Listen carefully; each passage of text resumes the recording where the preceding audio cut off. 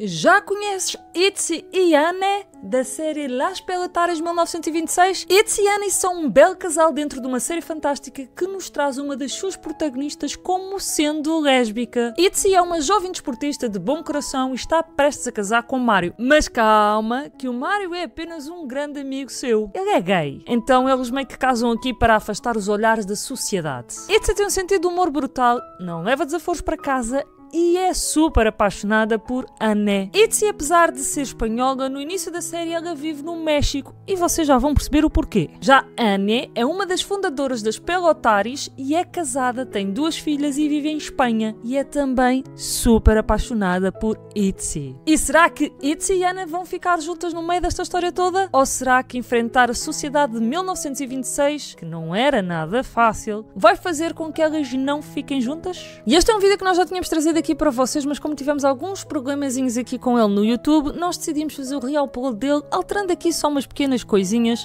Até porque a primeira temporada de Las Pelotares 1926 está agora disponível através do Sky Showtime ficando assim disponível para mais países, o que é fantástico. Las Pelotares 1926 conta a história de três mulheres, Cello, Itzy e Edoia. E o que as três têm em comum é que elas são pelotares, além de Cello e Itzy serem grandes amigas. A história de Itzy e Anna começa-nos a ser contada quando Cello conta a Itzy que tem uma notícia não muito boa para lhe dar. Então ela mostra-lhe um jornal que comunica a ida de Anna e da sua família ao México para um evento. E logo aqui no começo nós já vemos a bela representação de Maria Conseguimos ver que a Itzy fica com uma cara de pânico. E o estado dela de pânico é tão grande que ela decide fazer as malas para se ir embora do México. E porquê que a Itzy fica neste estado todo de pânico? Pois é, é que a Annie partiu o seu coração e deixou-a. E Itzy ficou de tal forma que se mudou de continente só para não ter que viver tão perto de Anne, já que não a podia ter. Só que Mário, o marido de Itzy, tem a bela ideia deles irem à festa onde vai estar Anne, porque ele acha que é a oportunidade ideal para que Itzy diga a Anne o que sente. Será que é? E ao ver Annie naquele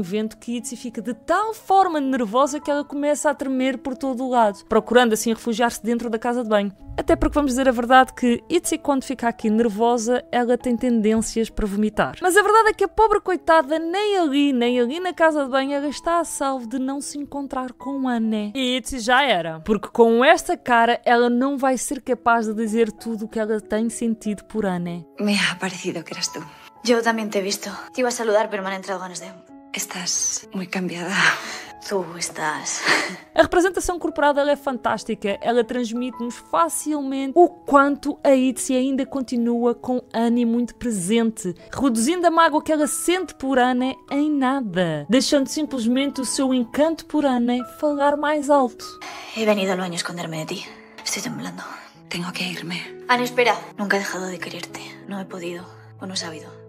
E vocês, algo que me assusta aqui um bocadinho, que é o facto da Ana mencionar que Lo nuestro no estuvo bien. Tú eras una cría y yo me aproveché de ti. Vou continuar a acreditar que quando a Ana diz que a Itzy era uma criança, que ela esteja a falar no sentido da sua personalidade, até porque. Yo sabía perfectamente lo que hacía. Y tú también. E esta mudança de semblante de Itzy mostrou como ela fica magoada ao ouvir Anne a dizer-lhe que ela ama o seu marido. A mí no me gustan las mujeres. Yo te gustaba.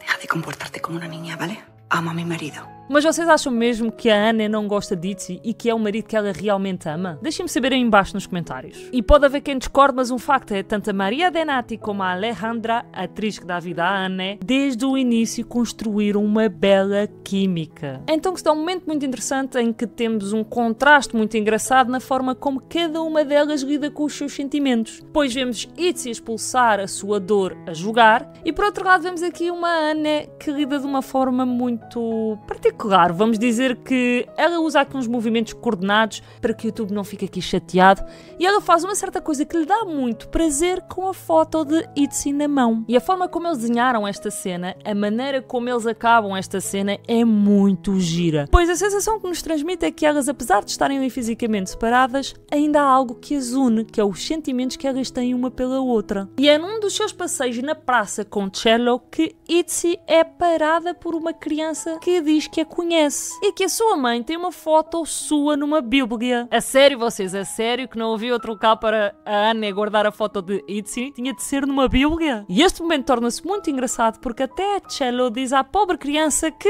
¿En una Biblia? No, entonces no es ella. só que a Itzy fica desconfiada e não deixa que esta história fique ali no ar. Então ela questiona se a miúda é basca. ¿Cómo se llama tu macho? Anne.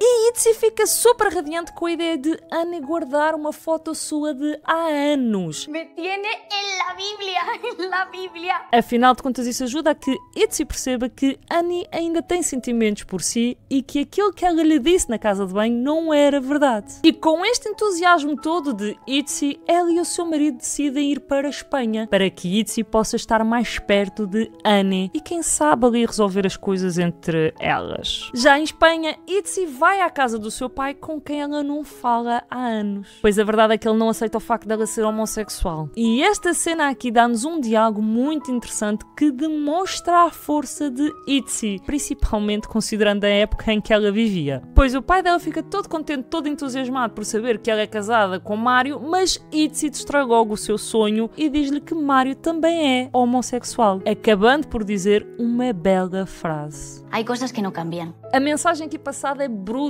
é de um significado enorme. E nesta ida à casa do seu pai, Itzy consegue assim o seu verdadeiro objetivo. Que era obter a morada de Anne. Isso leva a que Itzy vá até a casa de Anne e Anne fica ali completamente surpreendida ao ver Itzy. E vocês, a química entre elas uma vez mais transborda. Então que Itzy revela que foi ali só para ver Anne e para lhe dar uma resposta à pergunta que ela fez no Distrito Federal do México. Ela diz-lhe que ela a questionou sobre se ela iria deixar de agir como uma criança e que a resposta dela é não. E obviamente que Anne questiona se ela cruzou o oceano para ir ali dizer que não. Ao que Itzy responde que sim, e isso demonstra-nos uma vez mais o quão Itzy é uma lésbica bem emocionada. Se primeiro ela cruzou o oceano para fugir da sua amada, agora ela volta a cruzar o oceano para tentar lutar por ela. E isso leva a que Itzy revela uma vez mais os seus sentimentos por Anne. ¿Estás loca? Por ti y tú por mí. Por eso sonríes y te tiemblan las piernas. No me tiemblan las piernas. Obviamente que Anne tenta negar, mas a firmeza de Itzy é tão grande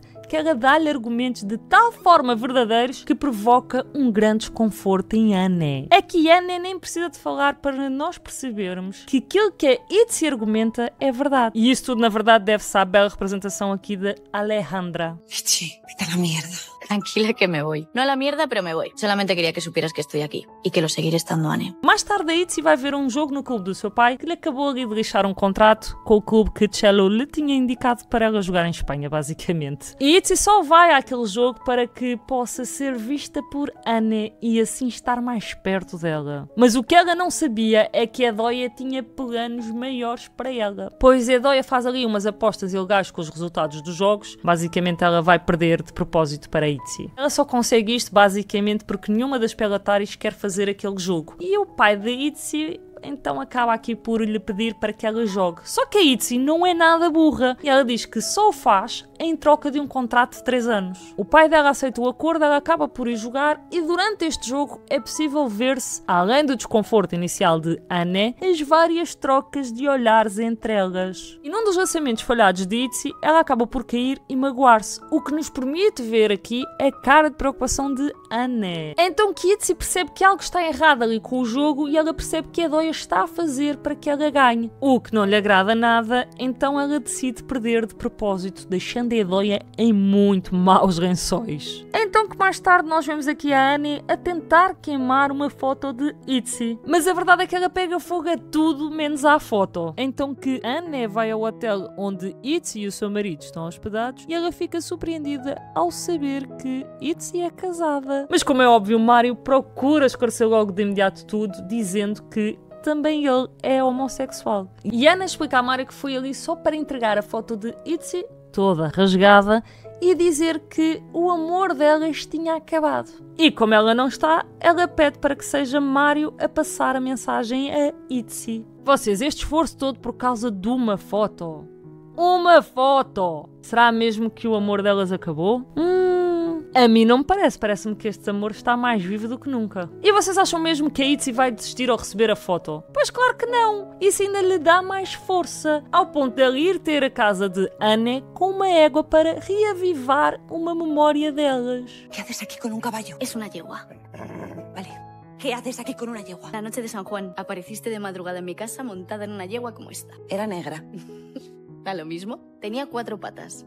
E quando Itzy começa a explicar o motivo dela ter ido ali com aquela égua, rapidamente a atitude de Anne muda e meio que ela começa a entrar na onda de Itzy. Vocês, eu adoro o sentido de humor que esta série nos traz. ¿No huele quemado aquí? No, aquí no huele quemado. Então Itzy continua a falar do momento em que elas foram cavalgar até à praia, onde tomaram banho, tiveram direito a fogos de artifício, até que ela diz: Estoy en tu cabeza, Anne. Y te enfadas conmigo y contigo. Por eso rompes mi foto y a saber qué otras barbaridades haces más. Nós bem sabemos aqui as barbaridades que a Anne fez com a foto de Itzy, sabemos. Então Itzy finaliza esta conversa dizendo que elas vão acabar por ficar juntas e que Anne sabe disso tão bem quanto ela. E é ao sair de casa que Anne vê que tem uma bicicleta ali à porta de casa com laço e associa que foi a Itzy quem deixou aquela bicicleta ali. O que a leva a ir ter ao hotel para abordar Itzy com o facto de não entender um não como resposta. E Itzy diz que só vai aceitar um não como resposta quando acreditar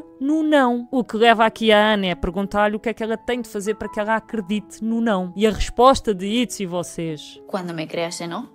¿Y qué tengo que hacer para que te lo creas?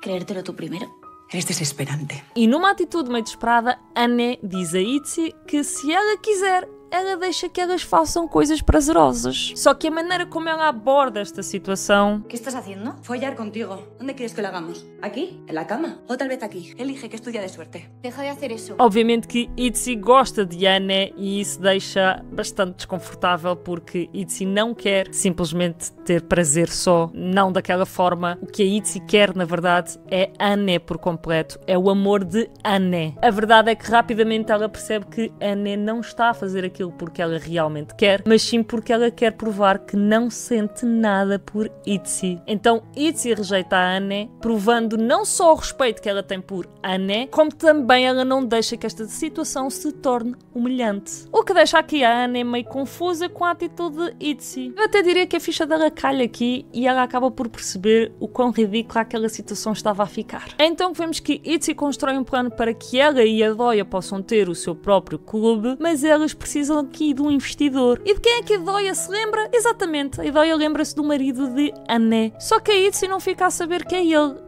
E quando Itzy chega aqui à casa de Annie, meio que ela entra em pânico. E já dentro da casa e a ver as fotos da família, Itzy percebe a vida que Anne tem. E ela chega à conclusão que não lhe pode pedir para que ela abdique daquela vida. E ela, meio em pânico, começa à procura de Anne pela casa para poder esclarecer as coisas com ela. E ao encontrar Anne, a Itzy apressa-se a explicar que não sabia que o sócio que a Doia lhe tinha falado era o marido dela. Pero me costó muchísimo superarlo. Y cuando te vi en México pensé, sé que tenía que intentarlo, pero fue una estupidez. Tienes tu vida, tu familia, todo. Anne, lo siento muchísimo.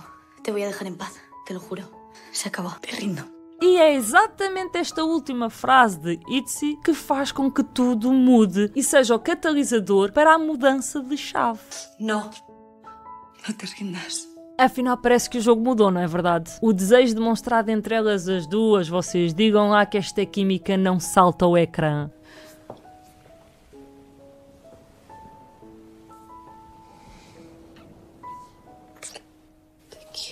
Mas a coitada da Itzy, que estava aqui de tal forma nervosa, ela acaba por vomitar. Logo agora que ela acabou de receber um beijo do amor da sua vida e um belo de um amo-te. Mais tarde, Itzy e Anne encontram-se e há aqui um trocadilho, vocês. Eu duvido que não tenha sido intencional.